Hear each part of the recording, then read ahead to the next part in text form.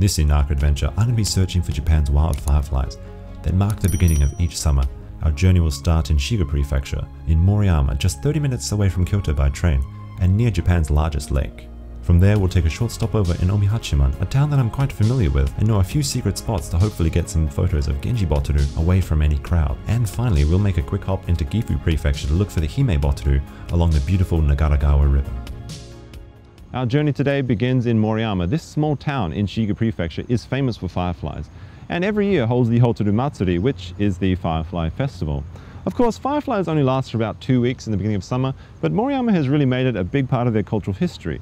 You'll see it on manhole covers and murals and artwork throughout the town. You'll see drawings of school children posted at various places. You'll see signs that say this river is a firefly river. Keep it clean. They need a nice environment to survive. Now this little wooded area is just inside the park in Moriyama and doesn't look like much right now, but in a few hours thousands of fireflies are going to come out as the season begins. I'm here a little bit early. I'm going to set up my camera gear, maybe have a quick snack, and then hopefully I can get some nice images on the first leg of my firefly adventure this year and there is just so many fireflies here. I've set up my camera.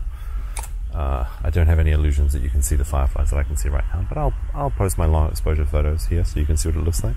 You might be able to see a few dots, but I am just surrounded by fireflies. There's actually one just flying by me right now. See if I can get it. Maybe not.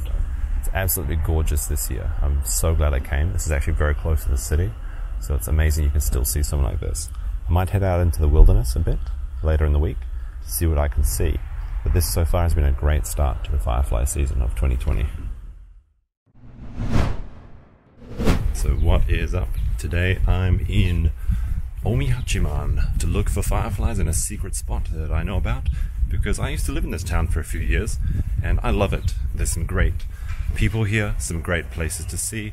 There's old, not quite castle ruins, but it's a moat that was used in the merchant days. And uh, it's actually still quite beautiful, and it was used recently to film the live action Rurouni Kenshin movies. So I might go check that out because I also heard that there's a new craft brewery there, which is meant to have some pretty good food and beer. So, about an hour till sunset, I think I will go have some dinner, go out, play with the drone in the evening light.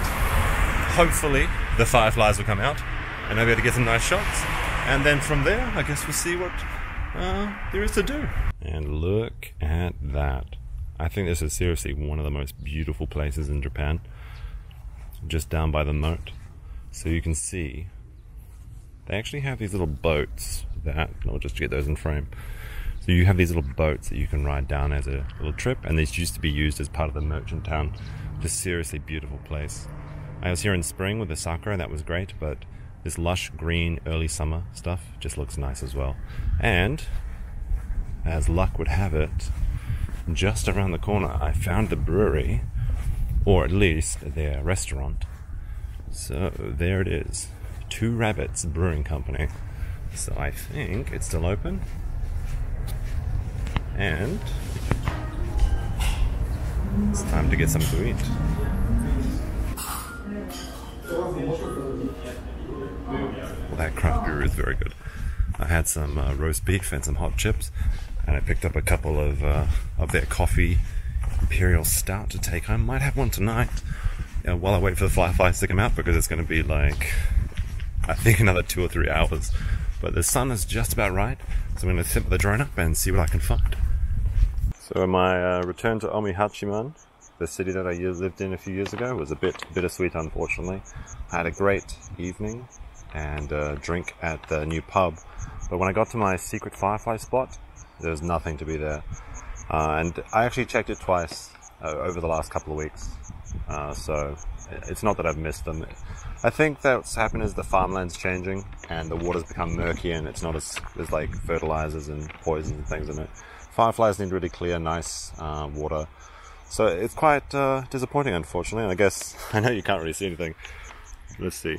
There's just some wild grass. A lot of it's been cut down and uh, it's cleared out. So I guess that's just the way that life changes. Uh, we found a lot of fireflies in Moriyama, which of course was famous for fireflies. And tomorrow I'm going to head up to Gifu to see if I can find the uh, different variant, the Hime Botaru, which have a quite a different appearance. So I'll post a picture of what this place looked like uh, a few years ago and what it looks like tonight. And I, I, gotta say, it's it's just very disappointing. It feel I feel like a little bit of the magic has left the world. Um, the wind's picking up though, so the audio is not going to be good. I know. I apologize for that. But uh, I guess let's get to it to the next spot tomorrow night. Alright, so tonight I'm headed to Gifu to look for the uh, Hime Botaru, which are a little bit different from the Genji Botaru that I have in uh, my area. These ones flash on and off, a bit more like Christmas lights, and they're much more numerous, although uh, I've heard that their habitat's been destroyed in the past uh, a few years, so last time I saw them there were hundreds and thousands of them, so it was amazing. Um, I got like last train. There's nobody else on here, so I can talk freely, I guess. Um, yeah, so I'm just gonna head in there about midnight. No point in getting a hotel because I'm gonna be up all night. Anyway, I'll just try and get all my shots, catch a nice sunrise, hopefully, on uh, Gifu Castle. Then I can just get the first train and pass out on it until I get to uh, my home.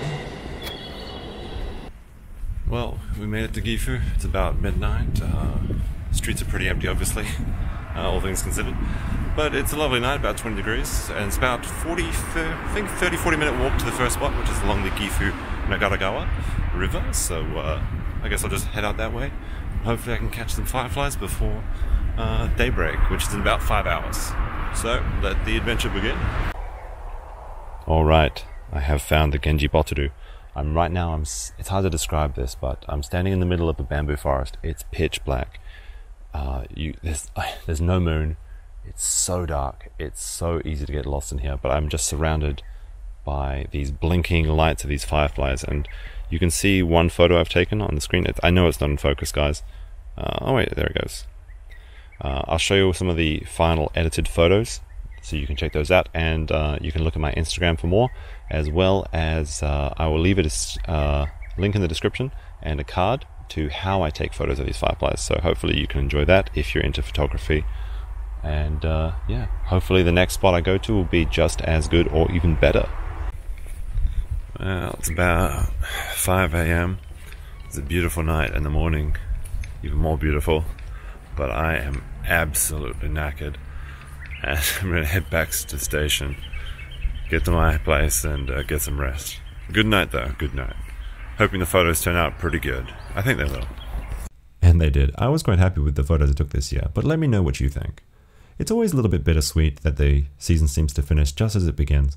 It's only about two weeks in June, but if you happen to be in Japan at this time, I definitely recommend searching them out. And if you are, let me know, and I'll see if I can help you find some in your area. And coming up on Inaka adventure, I'm going to be cycling across Japan's largest suspension bridge and what is possibly the world's best cycle course.